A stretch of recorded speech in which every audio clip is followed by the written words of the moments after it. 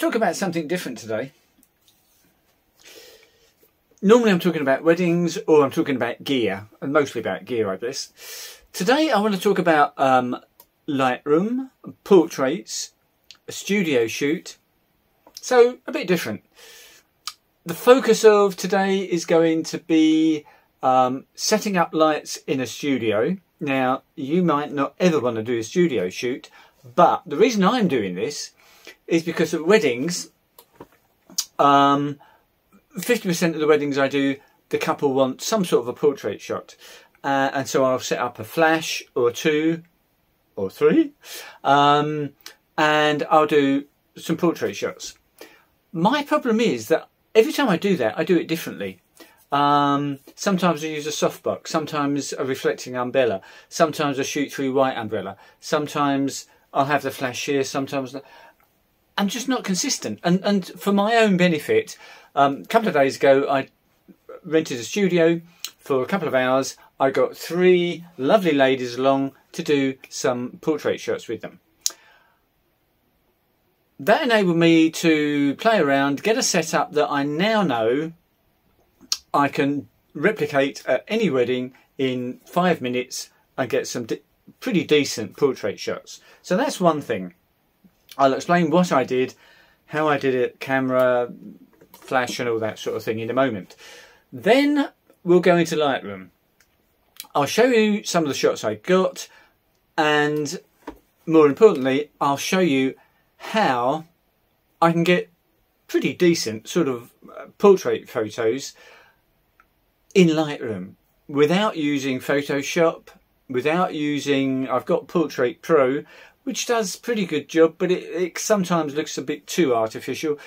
But Lightroom now, if you haven't got Lightroom, by the way, uh, I'm not sure what other editing software does. I've only ever used Lightroom, but I pay, I think it's about £10 a month for Lightroom, Photoshop, and a couple of other things that I rarely use. But Lightroom and Photoshop for £10 a month, um, it's so useful. Uh, I, I, I couldn't live without it.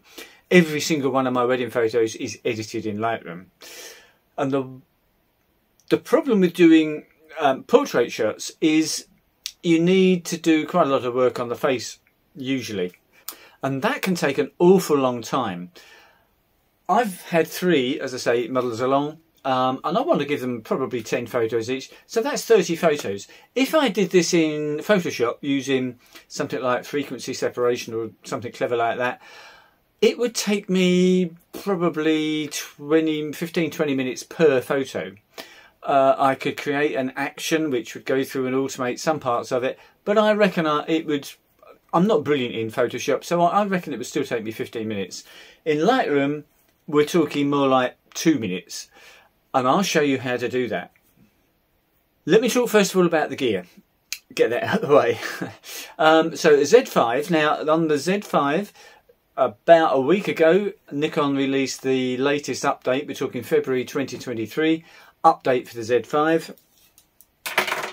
The biggest part of that for me was the uh, autofocus improvements, and they are significant. Um, previously, the two things that didn't work particularly well was eye autofocus uh, and face detect. The Z6 II that I've got isn't brilliant.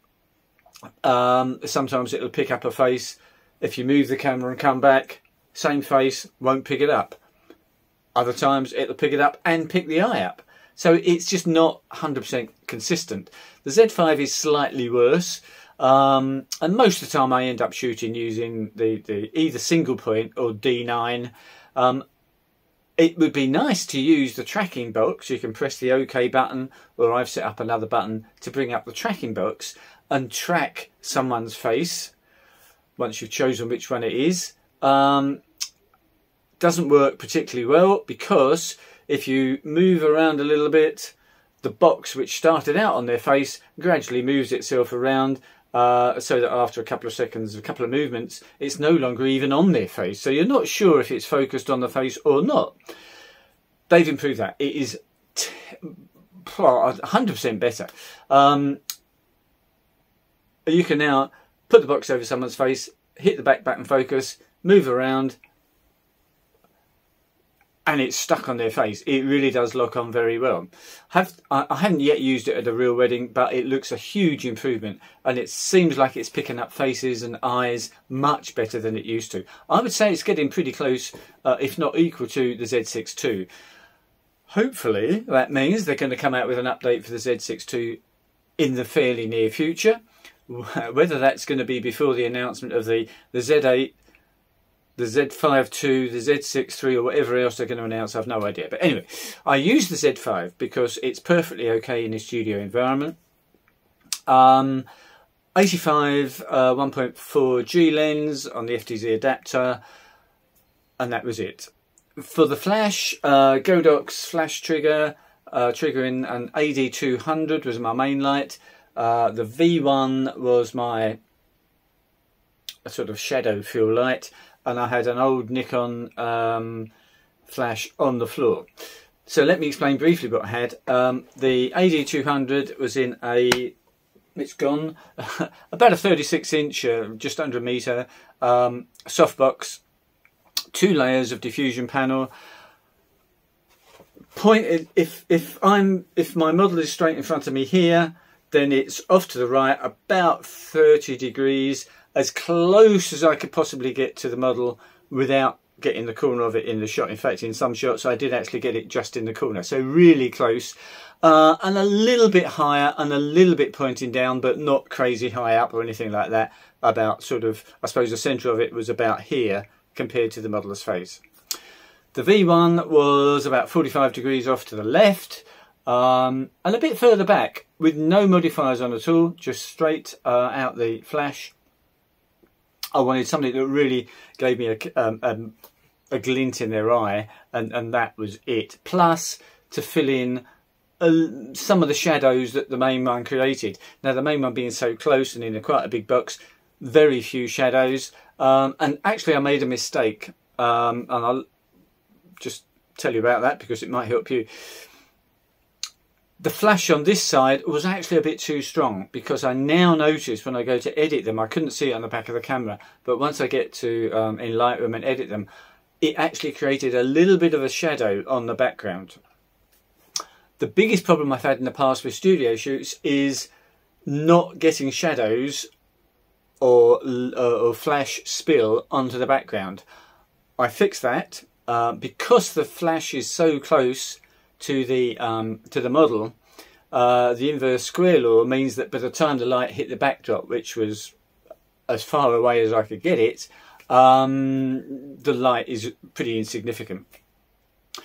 So that was my setup. Um, it was all done manually, manual on the camera, manual setup for the flashes. So it's a bit pointless telling you exactly what it was, but because it'll be different.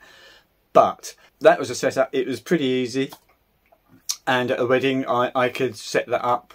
Um, I'll pinch one of the bridesmaids and get her to stand there, set the flash up. It'd probably take me two minutes and then we're ready to do some really good portrait shots. Let's jump into Lightroom, look at what I did and talk about how to take a, um, a photo straight out of camera and process it and make it look rather nice, I think. So I've imported all the photos into Lightroom, obviously, uh, and this is all the photos, 404 I think it is. Um, uh, and just out of interest, on the Z5, I don't know if the update has improved the battery life, but I did 404 shots um, and I still had three bars left on the battery. Um, it starts out with five. So uh, a good deal of battery life left. I reckon I could have probably got seven or eight hundred shots out of one battery, and that's with uh, the EVF on and the uh, rear screen as well, and it's powering a flash. Um, so I, um, yeah, battery life is pretty damn good. It seems to be better than it used to be. So anyway, here we are setting up the the, the camera and the flash, uh, and, and as you can see, yes, we're setting up the flash and then on to the proper shoot. Um, and what I've done is I've I've been through already and selected some in red. I've just um, hit six on the keyboard to mark those as red. Uh, some I've then edited already, um, and I've marked those as uh, yellow. So if we now go into the develop module, so let's just look at this one. Let's just take this as an example shot. If I wanted to edit this from scratch, then what would I do? Well, she's actually got pretty darn good skin. I don't need to do a lot to her skin, but if we go to my other lady, Christine, um, let's pick one where she's facing towards us a bit more. Um, you can see even at 33% magnification, we've got we've got a few things that we'd like to sort out. I think um, on her skin. If we get 100%, uh, there's definitely some work we can do, and that's. I'm, I'm I'm going for a look. Um, have I got it? I haven't got it on here now anymore. But I'm going for a look uh, that a Instagram um, photographer gets. I'm just trying to think of her name. Elena Klanashkova or something like that. Um, she does absolutely wonderful portrait shots, um, and that's a look that I'm going for. And that look is something like, let me pick one that I've done already. That look is something like this. So the skin on the face is softened, the eyes are highlighted and um, sort of made to stand out a bit more. Lips probably made to stand out a little bit more and have a bit of shine.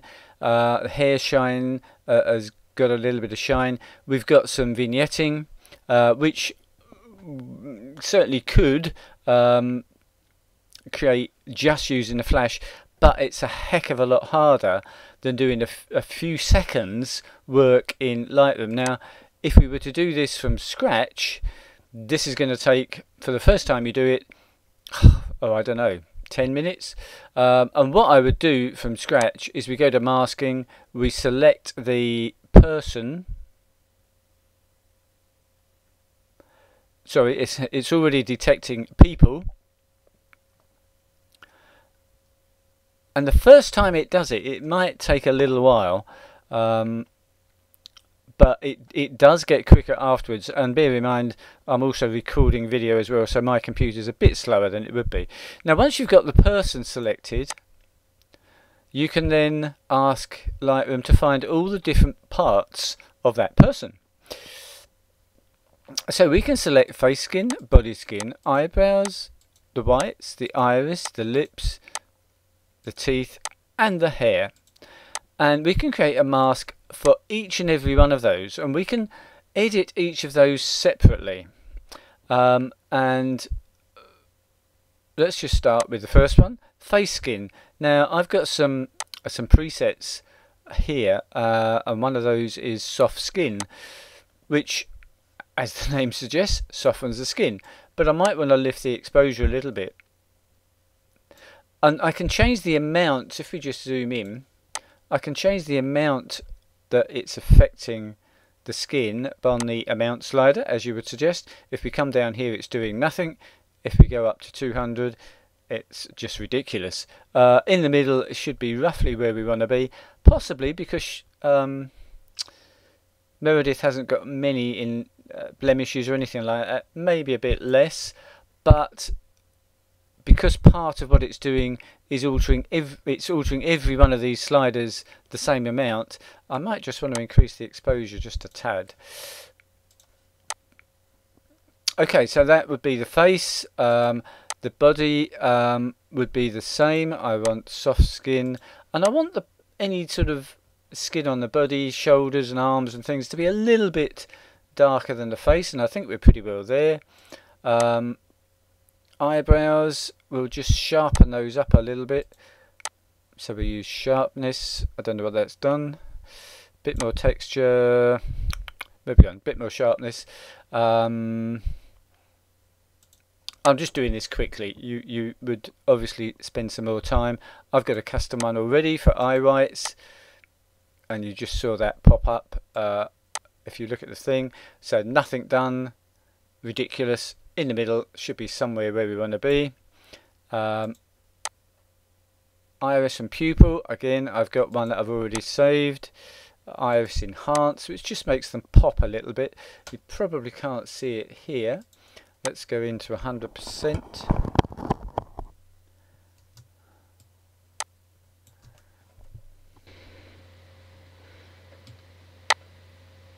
So it should be, yes, if you look at the irises, it's not having an awful lot of effect. So I'm going to leave it in the middle, but I'm just going to increase the exposure a bit. Too much. So about there. Uh, number six is lips. I'm not going to touch those. Uh, teeth. I'm not going to touch those basically because she's got her mouth shut so you can't see any teeth. Hair, uh, again I've got another preset for hair which is absolutely ridiculous. Oh, no that's, uh, I thought it was going to be crazy but that's pretty good actually. So, I've now changed everything there. There's another couple of masks that I would like to add and that is a radial mask. Um, and that is using my where's it gone? Flash circle preset which just sharpen things up a little bit more and gives a bit more brightness and then finally one more again another radial gradient which does exactly the opposite. So this goes here. Um, I'm just going to soften the edges. Um, remember from, from here to here is where the effect is fading from. Um, and I'm going to invert this. And I want it to do this one which is darken darken defocus so this will darken the outside and soften and sort of make the the outside even more out of focus. Because whilst I was shooting this one at 1.8 um, a bit later on uh, I changed the the f-stop to I think about 5.6 certainly f4 anyway. Um, uh, I was experimenting so I wanted to find out.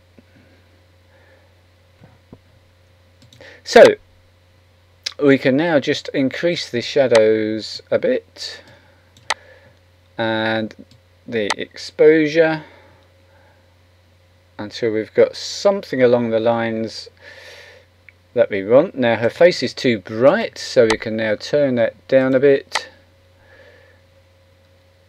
and it's just the exposure I want to get down so I'm just going to alter that till I get to the point where I'm happy with that. Okay, let's now, her hair has gone now a bit crazy, so we go back to the hair, reduce the effect of the hair shine,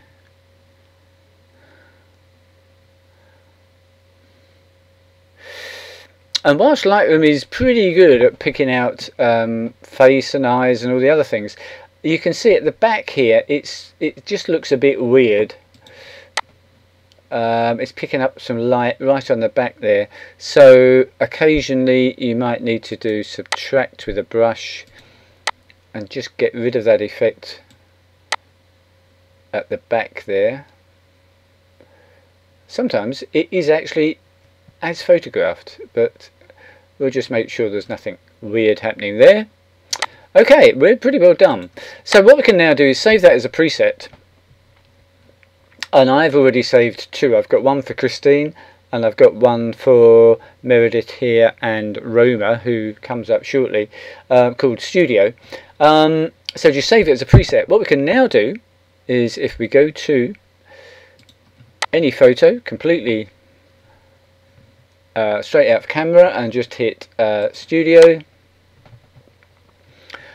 it takes I reckon about 10 seconds for Lightroom to do all its stuff.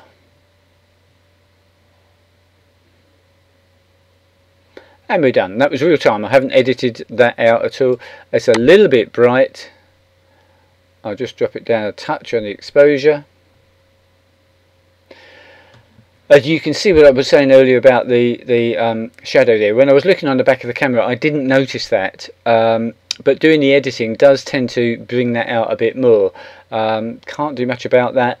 Uh, just something to remember in future when, when I'm using a, um, a, flash off to the left here to fill in any shadows uh, and to give a bit of a kick on this side. Don't make it quite so bright. Make sure there's no light, uh, no shadow being cast on the background. Um, I was very careful about not casting a shadow from the light from the flash on this side um, but I neglected to see that one so there we go not perfect but a learning experience and if you wanted to take um, shots of family friends or anything like that then some sort of basic lighting like I used here will definitely make the photos a heck of a lot better let's just have a look at Roma I'll just pick one from Roma. No, that's not Roma. Where's she gone? Here she is. Uh, Roma is a crazy young lady who I've done lots of shoots with. She's a, a budding pop star. Um, so we go to the studio. And this is happening in real time. I'm not editing this out at all. Um, but just compare how long this takes to how long it would take in Photoshop to get the same sort of quality of photo. Let's go for a square one on this. Let's make a bit of a uh, yeah. we'll go for that sort of angle um, just to do something different. And is a just want to change the white balance a bit maybe a bit more okay well I'm happy with that there's not much more I need to do. Um, the face is fine. The shoulder and the arm might be a bit bright. So we can go in and we can find... Which one is it? That one? Uh, so we can just either move the amount down or because I'm just looking for the exposure to be a bit lower I could reduce the highlights and reduce because I want the arm and shoulder to be just a tad less obvious, less bright than the face. Okay, I'd be happy with that. Um, so, I hope you found that useful. You don't need to be ridiculously clever like you do in Photoshop. Um, to get that effect in Photoshop, a, a photo as, as good as that would take me, as I said earlier, 15 20 minutes per photo. Uh, here it's a couple of minutes but so it becomes a practical way of editing more than four or five photos. As always I'm happy to answer any questions you've got. Get in touch uh, and uh, obviously if you're not subscribed please subscribe and thank you very much for watching. Enjoy your photography. Bye